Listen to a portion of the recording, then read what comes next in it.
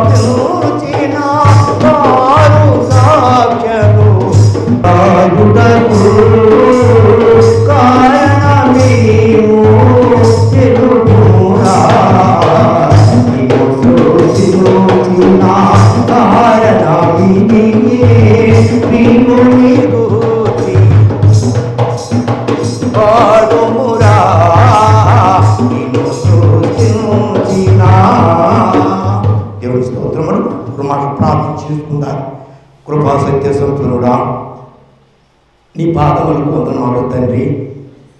ఈ మధ్యాహ్న కాల సమయంలో దేవా నీ వర్తమానం నాయన క్యాసెట్ రూపకములు అనేకులకు అనేకమైన ప్రజలకు వినిపించటానికి ఇది కార్యక్రమం ప్రారంభిస్తుంటుండగా నీ దాసుడు పౌలు కుటుంబాన్ని వచ్చిన బిడ్డలను మాట్లాడుతున్నాను దీవించమని ఆత్మ అభిషేకముతో నింపి మాట్లాడించమని. యస్సునామన ప్రార్థిస్తున్నాను తండ్రి. ఆమె దేవునికి స్తోత్రములు. ఈ సమయంలో దేవుని యొక్క పరిశుద్ధ గ్రంథం బైబిల్ ఒక స్వస్థమైనటి మాటలు మనకు వినిపిస్తున్నాయి. అవి ఏమిటి అంటే దేవుడు ఒకప్పుడు మన కొరకు ఆయన వ్యాధనతో పలికినట్టి మాటలు ఈ యొక్క మధ్యాహ్న కాల సమయంలో మనతో మాట్లాడబోతున్నాడు పరిశుద్ధాత్మ దేవుడు. ఎందుకంటే ఈ భూలోకము దేవుని యొక్క మాటలు వినలేదు కనుక దేవునికి వ్యతిరేకమైనటి జీవితాలు జీవిస్తున్న మన కొరకు ఆయన వేదనతో పలికినటి మాటలు ఆ వేదనతో పలికిన మాటలు ఎవరో ద్వారా అనంటే మొట్టమొదటి వర్తమానమును ఈ భూలోకములు ఇలా జరుగుతున్నది ఇలా జరగబోతుంది అని తెలియజేయటానికి దేవుడు ఒక ప్రవక్తని ఎన్నుకున్నాడు. ఆ ప్రవక్త ఎవరు అనంటే ఏసియా ప్రవక్త. ఏసియా ప్రవక్త ద్వారా తండ్రి అనే దేవుడు ఒక వేదనతో కూడినట్టి మాటలు మనకు ఇలా వినిపించబోతున్నాడు ఏమిటి అంటే ఆ వేదనతో కూడిన మాట ఏమిటంటే చాలామంది ఈ పదాన్ని ఈ వాక్యాన్ని దైవజనుల ద్వారా అనేకమైన చర్చల మీద హ్యాడ్లో ముందు ఈ మాటలు రాస్తున్నారు. ఏమని? బూదిగంత నివాసులారా నా వైపు చూసి రక్షణ పొందుడి అనే పదమును అనేకమైన చర్చిలలో ముఖద్వారమందు ఈ పదమును రాస్తూ ఉంటారు. ఇంతకును మనం జాగ్రత్తగా చూసినట్లయితే మనము తెలుగు బాప్టి చర్చి కనిగిరి వారు. అక్కడ కూడా రాయించినది ఇదే పదం. ఏమని? బూదిగంతని వాసులారా నా వైపు చూసి రక్షణ పొందుడి అని ఒక మంచి మాట. మనకైతే మంచి మాట. తండ్రి అనే దేవునికైతే వేదనతో కూడిన మాట. ఎందుకని? బుదిగంతని వాసులారా నా వైపు చూసి రక్షణ పొందుడి. ఆయన అంటున్నటి మాటలు ఏమని మనకు వినబడుతున్నది అని అంటే ఆయన చెబుతున్నటి మాటలు ఇరవై రెండవ వచనం. జాగ్రత్తగా విందారి నలభై ఐదవ అధ్యాయము ఇరవై రెండవ వచనములో ఈ మాటలు మనకు వినబడుతున్నాయి. మనము ప్రతినిత్యము జాగిస్తున్నాం బుద్ధికంతని వాసులారా నా వైపు చూచి రక్షణ పొందుడి. దేవుడను నేనే మరి ఏ దేవుడును లేడు? నా ఎదుట ప్రతి మోకాలు బొంగును ప్రతి నాలుకయు నాతోడని ప్రమాణము చేయును. నేను నా పెరట ప్రమాణము చేర్చి ఉన్నానని చెప్పి తండ్రి అనే దేవుడు వేదనతో కూడినట్టి పదం ఇది మనకైతే ఆనందముగా ఉంటుంది మనకైతే సంతోషముగా ఉంటుంది. కానీ తండ్రి అనే దేవుడు ఈ ప్రవక్తను నిలవబెట్టించి ఇదిగో ఈ రీతిలో ప్రవక్త ప్రసంగించము. ఈ రీతిగా నువ్వు వారికి తెలియజేయమని చెప్పి ఉన్నాడు. ఊదిగంతని వాసులారా నా వైపు చూడండి. అంటే ఈ జనము ఎటువైపు చూస్తున్నారు? ఈ జనము లోకంలో ఎన్నెన్నో విధాలుగా చూస్తున్నారు. ఏ విధముగా చూస్తున్న ఒక్కపారి మనం జ్ఞాపకం చేసుకున్నట్టయితే జాగ్రత్తగా విందాలి అనేకులు అనేక విధము గల వాటిని చూస్తూ దేవుని మర్చిపోతున్నాడు నేను దేవుడిని తప్ప మరి యొక్క దేవుడు లేడని దేవుడు నీకు నాకు మనందరికీ కాదు. లోకానికే చెబుతున్నట్టు మాటలు. నీతో నాతో మనందరితో కాదు ప్రియ దేవుని బిడ్డారా లోకంలో ఉన్న ప్ర ప్రజలందరి కొరకును ఈ వర్తమానమును వినేటట్టుగా చూస్తున్నాడు ఎందుకంటే నేను దేవుడు దేవుడును నా వైపు చూడడం వదిలిపెట్టి లోకము వైపు లోకములో జరుగుతున్న ప్రతి ఒక్క కార్యమున పట్ల జనులు చూస్తున్నారే కానీ నా వైపు చూడటం లేదు. అనగా దానికి కారణం ఏమిటంటే ఎందుకని వీళ్ళు చూడలేకపోతున్నారు అని మనం జాగ్రత్తగా చూసినట్లయితే అదే నలభై ఆరో అధ్యాయంలో మనకు ఒక మాట కనబడుతుంది. నేమని నలభై ఆరో అధ్యాయము పన్నెండవ వచనములో ఒక మాట కనబడుతుంది. ఎందుకని? ఈ ప్రజలు ఆయన వైపు చూడకుండా పోవడానికి గల కారణము ఏమిటి? అని అనంటే జాగ్రత్తగా విందాలి కఠిన హృదయులై నీతికి దూరముగా ఉన్నవారులారా. మన మనసు ఏమై ఉన్నది కఠినపరచబడి ఉన్నది మన హృదయం కఠినపరచబడి నీతిమంతుడు లేడు ఒక్కడును లేడు అని బైబిల్ మనకు ఘోషిస్తూ చెబుతుంటే మనము నీతిమంతుని ఛాయ చూడటం లేదు కానీ లోకంలో అనేక విధాలైనటి వాటిని చూస్తూ ఉన్నాం. జాగ్రత్తగా వినండి. ఎలాంటి విషయాలు మనం చూస్తున్నామంటే ఈ కంటికి ఎంత అందముగా ఉన్నాయో వాటినే చూస్తున్నాము కానీ మనకు మనముగా దేవుని వైపు చూడటం అందు గురించి ఆయన వేదనతో ఈ మాట అంటున్నాడు. ఏమని? వేదనతో ఎందుకన్నాడు అంటే నా వైపు చూడటం వదిలిపెట్టినారు. ఎందుకని? వాళ్ళ హృదయము కఠినపరచబడి ఉన్నది. కఠినపరచబడినట్టు వారు ఏ పని అయినా చేయగలరు. అవునయ్యా? ఈ కఠినమైన మనసు కలిగినటి వారు ఏ పని అయినా చేయగలరు. ఏమని? ఏ పని చేయగలరు అని మనం జాగ్రత్తగా చూసినట్లయితే అదే ఇష్య గ్రంథము. ఏ పనైనా చేయగలరు. ఎలాగూ అని అంటే అదే ఇస్య గ్రంథంలోనే మనం జాగ్రత్తగా చూసినట్లయితే అరవై ఐదవ అధ్యాయము రెండవ వచనములో లేదా మూడవ వచనములో ఈ మాట కనబడుతుంది. కఠిన హృదయం చేసుకొని వాళ్ళు ఏమి చేస్తున్నారు ఒక భారీ తల్లిదండ్రులు మాటలు వినని వారు. తల్లిదండ్రులు ఎంతో కఠినంగా వాళ్ళు బోధిస్తున్నా చెబుతున్నా వాళ్ళు మాటలు వినకుండా వారికి ఇష్టమైన పనులు ఎలాగో చేస్తున్నారో దేవుని యొక్క మాధ్యమును దేవుని వైపు చూడకుండా ఈ కఠినపరచబడినట్టు వారు ఏమి చేస్తున్నారో ఒక్క పారి మనము గుర్తు చేసుకుందాలి. ఏం చేస్తున్నారు? మూడు వచనములు అంటారు. అరవై ఐదవ వచ్చాయం ఇసే గ్రంథము మూడు వచనములు మనము జాగ్రత్తగా చూసినట్లయితే వారు తోటలలో జాగ్రత్తగా వినాలి. వాళ్ళు ఏం చేస్తున్నారు? ఈ కఠినపరచబడినట్టు ఈ ప్రజానీకం ఏం చేస్తున్నారంటే వారు తోటలలో బలి అర్పణలు అర్పించుతూ ఇటికెల మీద ధూపము వేసి అనగా సుస్థికర్తను వదిలిపెట్టి సుస్థమును పూజిస్తున్నారు ఈ మానవుడు. ఈ మానవుడు ఎందుకు కఠిన హృదయమును కఠినపరుచుకొని వాళ్ళు ఏమి చేస్తున్నారంటే ఇటుకల మీద ధూపం వేసి వాటికి బలులు అర్పిస్తున్నారు దేవుడా నీవేనయ్యని. ఇది ఎక్కడ ప్రారంభమైందంటే మోచే దగ్గర నుంచి. మోచే చిరాయి పర్వతమునికి పోయినప్పుడు ఆ ప్రజలందరూ మేము మొక్కటానికి మాకొక గుర్తు కావాలి ఒక దేవుడు కావాలి అని చెప్పి ఇస్రాయేలు ప్రజలు అడిగినప్పుడు ఆనాడు ఎప్పుడైతే ప్రారంభించాడో ఆనాటి నుంచి నేటి వరకు కూడా మన జనము ఎలా కుదురుతుందంటే సృష్టికర్తను వదిలిపెట్టి స్వస్థమును పూజించడానికి ప్రారంభించిన. అందు గురించి మోచే పండ దిగి వచ్చినప్పుడు ఆయన ఆయన మాట్లాడుతున్నట్టు ఈ మాటలు. నీవేమి చేసితివి అని ప్రశ్నిస్తున్నాడు. ఈనాడు కూడా మనలో కూడా దేవుడు ప్రశ్నిస్తున్నాడు నీవు నేను ఏమి చేస్తున్నామంటే ఇదిగో ఈ పని చేస్తున్నావు ఏ పని చేస్తున్నాము తోటలో. ఏం చేస్తున్నాము తోటలలో బలు అర్పించి ఇటుకరమైన ధూపం వేయుదురు నా భయం లేక దేవుడు అంటున్నట్టు మాటలు. ఎక్కువ శాసము. నేను బోధించే బోధ ఎందుకంటే మొట్టమొదట దేవుని మీద భయం లేకపోతే భక్తి వ్యర్థం.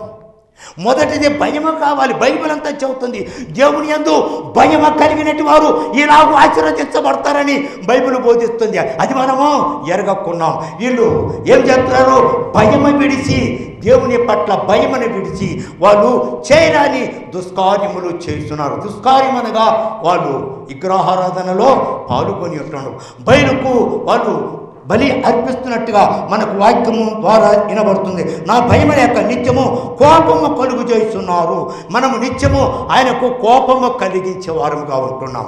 ప్రియా దేవుని బిడ్డారా మన హృదయం కఠినపరచబడింది. ఎందుకంటే దేవుని వైపు మనం చూడటం లేదు. లోకము వైపు చూసి దేవునికి అయిష్టమైనటువంటి ప్రతి కార్యములు చేస్తూ దేవునికి మనం ఏం చేస్తున్నాము కోపము పుట్టించే వారముగా ఉన్నామని చెప్పి మనకు వాక్యమును రుజువై ఉంటుంది. అందరి గురించి భక్తుడైన పౌలు గారిని గురించి మనము జాగ్రత్తగా నేర్చుకోవలసిన అపోత్తుల కార్యములు. అపోత్తుల కార్యములు పదమూడవ అధ్యాయము. అపోత్తుల కార్యములు పదమూడవ అధ్యాయము. జాగ్రత్తగా వినినట్లయితే నలభై ఆరో వచనములో ఈ మాటలు మనము వింటున్నాం. జాగ్రత్తగా విందారి పదమూడవ అధ్యాయము. నలభై ఆరో వచనములో ఈ మాటలు మనకు కనబడు అప్పుడు బర్ణబా పౌలు బర్ణబాయు ధైర్యముగా ఇట్లనిది ధైర్యము కావాలి మనకు. దేవుని పట్ల భయము కావాలి. దేవుని యొక్క స్వార్థను ప్రకటించడానికి ధైర్యము కావాల్సి వచ్చింది. వాళ్ళు ధైర్యము వహించి అలాగూ స్వార్థను ప్రకటిస్తున్నాం. వాళ్ళు ధైర్యమును వహించి ఏమి చేస్తున్నారో ఒకపారి అట్లనే దేవుని వాక్యము మొదట మీకు చెప్పబడుట ఆవశ్యకమే. మొట్టమొదట మనకు చెప్పడం ఆవశ్యకమే. కానీ మన మధ్యకు వచ్చిన స్వార్థను మనం ఏం చెప్పినాము వినకుండా మన చెవులు మందమైపోయి ఉంటున్నాయి. మన చెవులు ఏమై ఉన్నాయి? మందమై ఉంటున్నాయి. అందు గురించి కఠినమైనట్టి దేవుని యొక్క ఉగ్రతకు మనము పాత్రం ఎందుకు అవుతున్నామంటే దేవుని మాటలు వినకుండా మన చెవులు మందమై ఉంటున్నాయని చెప్పి మనకు బైబిల్ బోధిస్తుంది. మనము దేవుని యొక్క వాక్యమునకు భయపడటం లేదు. ఆయన మాటలు వినటం లేదు. ఆయనను మనము దేవుడిగా పూజించటము లేదు. అందు గురించి దేవుని యొక్క కోపము ఆయన ఉగ్రత మన మీదకి వస్తుందని చెప్పి అలాంటి స్థితిలో ఉన్నప్పుడు మనల్ని దేవుడు ఎలాగో పిలిచాడు ఏ విధంగా పిలిచాడు అనేది మనం జాగ్రత్తగా విందాలి. అలాంటి కఠినమైన మనసును కలిగి దేవునికి దూరంగా ఉంటున్న నీతో నాతో మనందరితో దేవుడు ఎలాగో మాట్లాడుతున్నాడు. ఏమని? ప్రయాసపడి. మనల్ని పిలుస్తున్న పిలిపేంతో చూసావా దేవుడు ఎలాగూ పిలుస్తున్నాడు ఎంత దయానికముగా పిలుస్తున్నాడు ఎంతటి దీన మనసుతో పిలుస్తున్నాడు ఒకపారి ప్రయాసపడి పాపభారము మోసుకొనుస్తున్న సమస్త జనులారా నా యొద్దకు రండి నేడు మీకు విశ్రాంతిని ఇస్తాను అని చెప్పి వాక్యం చెబుతుంది. ఈ లోకములో విశ్రాంతిని శాంతిని ఇవ్వగలిగినట్టు వాడు ఎవరైనా ఉన్నారా అని అంటే ఎవరైనా ఉన్నారంటే వాళ్ళకే శాంతి లేక వాళ్ళకే సంతోషం లేక వారికే సమాధానం లేక వాళ్ళు అగో అంటూ వాళ్ళు ఎంతో వేదన రోదనతో ఉంటున్నారు. కానీ యేసుక్రీస్తు ప్రభువారు నా దగ్గర కొద్దీ నేను మీకు శాంతిని ఇస్తానంటున్నాను మనము మన బిడ్డలకు అనేక వస్తువులు తీసియవచ్చు. అవునా? చిన్నపిల్లలకు ఉన్నప్పుడు చిన్నపిల్లల వస్తువులు ఇచ్చి ఇస్తున్నాం. పెద్దయినాక పెద్దయిన వస్తువులు తీసుకొ తీసుకొచ్చి ఇస్తున్నాం కానీ మనము యేసు క్రీస్తు ప్రభువు ఇస్తానన్నది మన దగ్గర దొరుకుతుందా తండ్రి? చెప్పాలి. మనకే లేదు. ఏది? విశ్రాంతిని శాంతిని మనకే లేదు. మన బిడ్డలకు మనమేమి పంచగలం? మనం పంచగలమా? అయితే ఆయన అంటున్నట్టు మాటలు శాంతిని విశ్రాంతిని ఇవ్వగలిగినట్టు దేవుడు ఆయన నిన్ను నన్ను రమ్మని పిలుస్తున్నాడు. ప్రయాసపడి పాప భారం మోసుకున్న సమర్థ జనులారా నా యొద్దకు రండి. నేడు నేను మీకు విశ్రాంతిని ఇస్తానని చెప్పి మనకు ఆయన బోధించినట్టు బోధ. జాగ్రత్తగా వింటావా? ఆయన నిన్ను నన్ను ఎంత ప్రాధేయకంగా పిలుస్తున్నాడు? ఎంత బతిమలాడి నిన్ను నన్ను పిలుస్తున్నాడు? రండి నా దగ్గరికి నా దగ్గరికి వస్తే నేను నీకు ఏమిస్తానన్నాడు ఆస్తిని ఇస్తానే లేదు. అవునయ్యా నీకు ధనమదానం ఇస్తానని లేదు. అవునా? ధనమదానం అంటారు. ఇదంతా నేను సంపాదించినదని ఒక్కొక్కరు తన యొక్క గొప్పతనాన్ని ఇతరులకు చెప్పుకొని ఇదంతా నేను సంపాదించిన అంటారు. కానీ ఇది సంపాదించిన నీ శాతం అవుతుందా? ఏది శాంతిని సంపాదించుకోవడానికి నీ శాతం అవుతుందా? ఆ శాంతి దొరికే మార్గం ఎక్కడో నీకు తెలుసా? తెలుసుంటే దేవునికి దూరముగా ఉండలేవు. అలాంటి స్థితిలో నుంచి కదా ఆయన పిలుస్తుంది నా వైపు చూస్తే నీకు రక్షణ నీకు శాంతి నీకు సంతోషం నీకు సమాధానం కలుగుతుందని చెప్పి దేవుడు నీతో నాతో మనందరితో మాట్లాడుతున్నాడు. అలాంటి మాటలు యేసు ప్రభు ఈ లోకమునకు వచ్చి ఏమని చెబుతుండో తెలుసా? రండి నా దగ్గరికి నా దగ్గరికి తెలియకు విశ్రాంతిని అనుగ్రహపశ్చాత్తని చెప్పి దేవుడు నీతో నాతో మనందరితో చక్కటి వర్తమానాలు మనకు బోధిస్తున్నట్టుగా మనకు వాక్యం ద్వారా తెలియబడుతుంది. ఇంకను మనం జాగ్రత్తగా చూసినట్లయితే ప్రియ దేవుని బిడలారా ఒక వాక్యమును మనం జాగ్రత్తగా విన్నట్లయితే ఇరి యశ్యా గ్రంథము యాభై నాలుగవ అధ్యాయంలో మనకి ఇంకొక మాటను కనబడుతుంటున్నది ప్రియా దేవుని బిడ్డారా యశ్యా గ్రంథము యాభై నాలుగవ అధ్యాయము ఆరో వచనములోని మనం చూస్తున్నాం ప్రియా దేవుని బిడ్డ ఆరో అంటున్నాడు నీ దేవుడు ఈ మాటలు చెలవిచ్చుచున్నాడు.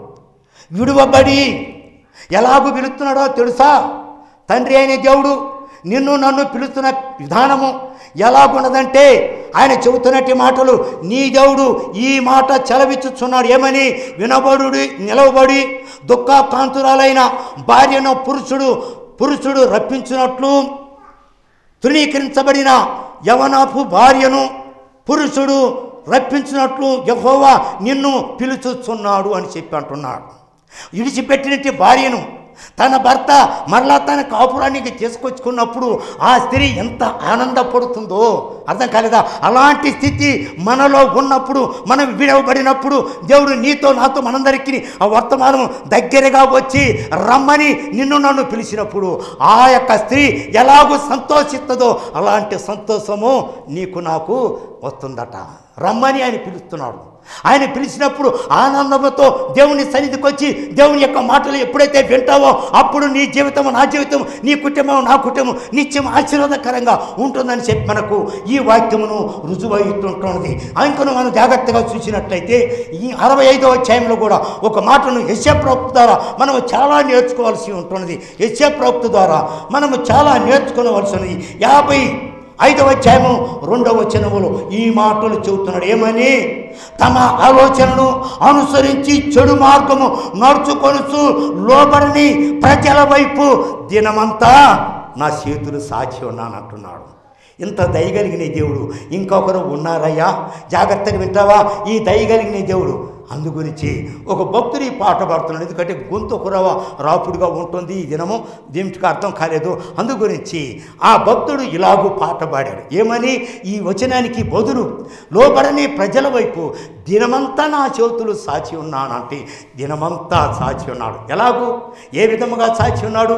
నీ కొరకు నా కొరకు అడ్డ నిలువు కొయ్యలకు వ్యాపార చేయబడి ఆయన భక్తి ఆండ్రించి ఊసిరెట్టి ఉమ్మను కారుచున్నట్టి చెమటను రక్తమును ఏకమై కారుచున్నప్పుడు తుడుచుకోవటానికి కూడా వీలు పడినట్టి రీతిలో చెయ్యి సాచి ఉన్నాడు. అవునా? అడ్డ నిలువు కొయ్యలకు. వేలాడ చేయబడుచు. మూడు మేకులతో ఐదు గాయాలతో ఆయన బంధించి ఉన్నప్పుడు అప్పుడు పిలుస్తున్నాడు మీ కొరకు నేను చేతులు సాచి ఉంచి రమ్మని పిలుస్తున్నాడు. ఆ మాటలు వింటావా దేవుని బిడ్డలారా? జాగ్రత్తగా వింటాను మరువలేను మరువలేను మరువలేనయ్యా. ఆ, మరువలేనయ్యా. ಮರುವಲೇನು ಮರುವಲೇನು ಮರುವಲೇನಯ್ಯಾ ಮರುವಲೇನಯ್ಯಾ ಏಸಯ್ಯಾ ಏಸಯ್ಯಾ ஏசையா தயாமயா ஓ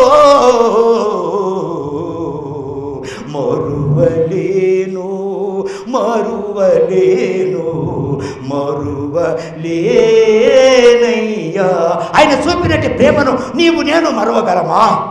ఆయన ఎంత ప్రేమను చూపి ఉన్నాడు అట్ట నిలువు కొయ్యలకు వేలాడ తీయబడి మూడు మేకులతో అక్కడ ఆకాశమును మధ్యన వేలాడ తీయబడుతూ ఆయన నిన్ను నన్ను ఎలాగో పెడుతున్నారు రండి.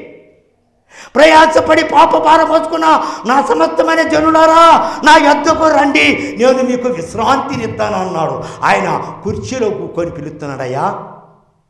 ఆయన ఎక్కడ కూర్చున్నాడు? ఏసీ రూములో కూర్చొని పిలుస్తున్నాడా?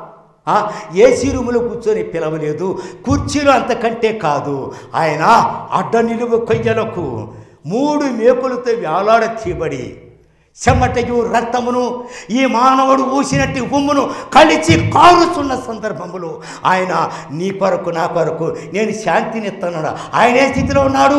ఆయన వేదనలో ఉన్నారు. ఆయన వేదనలో ఉండి నీకు నాకు శాంతిని ఇవ్వటానికి ఆయన సిద్ధపడి ఉంటుండే. ఎందుకనంటే విడిచిపెట్టకుండానే భాగ్యమని ఎంచుకోకుండా ఈ లోకమునకు పంపబడినట్టు యేసు.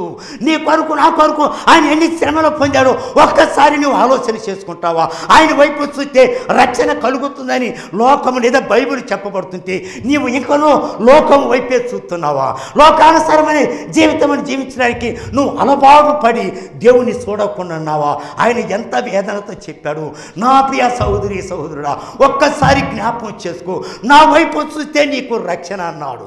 రా వైపు చూసినట్లయితే నీకు రక్షణ అని చెప్పి దేవుడు బోధిస్తున్నాడు. ప్రియా దేవుని బిడ్డారా రక్షణ ఆయన వైపు చూసిన వారికి ఎలా ఉంటుందో ఒక్కసారి మీకు ఒక వ్యక్తిని మీకు గుర్తు చేస్తాను జాగ్రత్తగా వినాలి.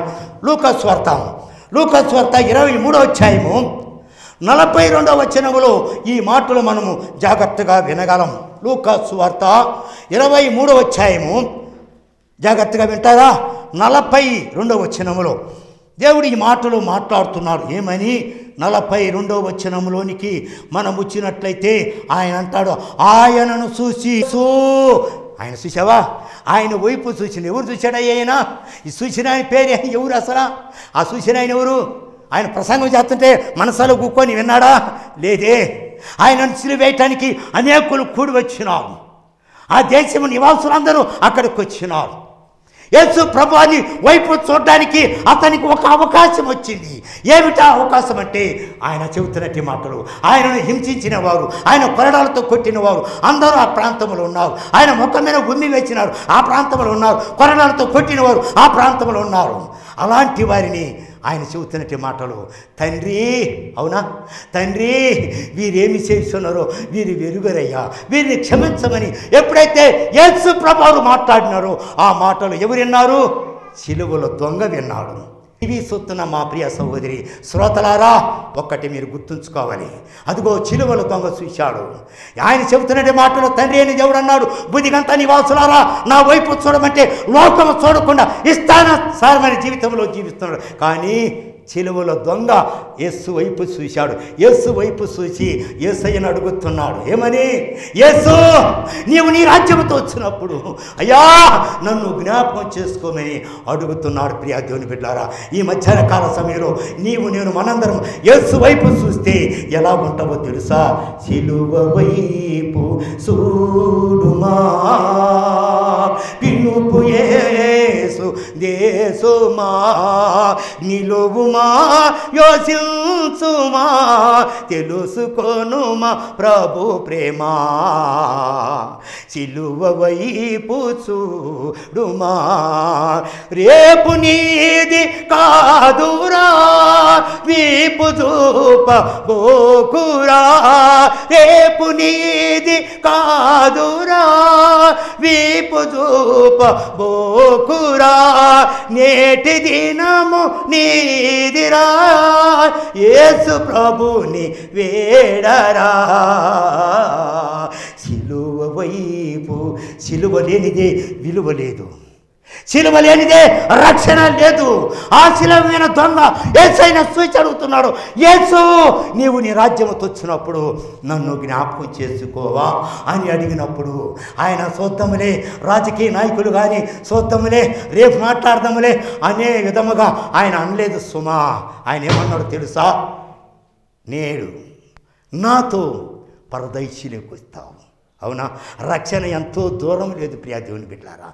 ప్రభు అని పిలిచినప్పుడు నీ సెంతలు ఉంటాడు. పేతురు మునిగిపోతున్నప్పుడు ప్రభు అన్నాడు దగ్గరుండి లేవనెత్తాడు. నిన్ను నన్ను లేవనెత్తడానికి ఆయన ఎప్పుడూ సిద్ధంగా ఉన్నాడు. ఎప్పుడంటే ఆయన వైపు చూసినప్పుడే ఆయన వైపు చూసి ప్రభువా నీ రక్షణ భాగ్యము నాకు దైశ్యమని మనం ఎప్పుడైతే అడుగుతామో అప్పుడు దేవుని యొక్క కృప మనకు తోడుగా ఉంటుందని వాక్యం ద్వారా తెలియబడుతుంది దేవుని యొక్క వాక్యములు మన ఇంటికి దీవించిన కాక మాటలు ప్రార్థన చేసుకుందా. ప్రియా దేవుని బిడ ఈ యొక్క వాక్యమును యేసు వైపు చూసినటువంటి వారికి రక్షణ కలుగుతుందని మనం విన్నాం. ఆ విన్నదాన్ని దేవునికి సమర్పించుకొని ప్రభా అది కూడా నేను నన్ను నిలవబెట్టుకొని నువ్వు మాట్లాడిన ప్రతి మాటపై వందనాలు. దేవా శ్రోతలు విని చిలువ వైపు చూసిన దొంగను నువ్వనే పోలినట్లుగా కొన్ని నీ కృప నీ సరిది నాకు మాకు తోడుకొంచమని ఈ మధ్యాహ్న కాలపు దిగును మనకు నింపమని. వినిన శ్రోతలందరూ ఆత్మీయ మేలు పొందినంతగా నీ కృప తోడుకొంచమని యేసు నామన ప్రార్థిస్తున్నాను తండ్రి. ఆమేన్. అందరికీ వందనాలు శ్రోతలు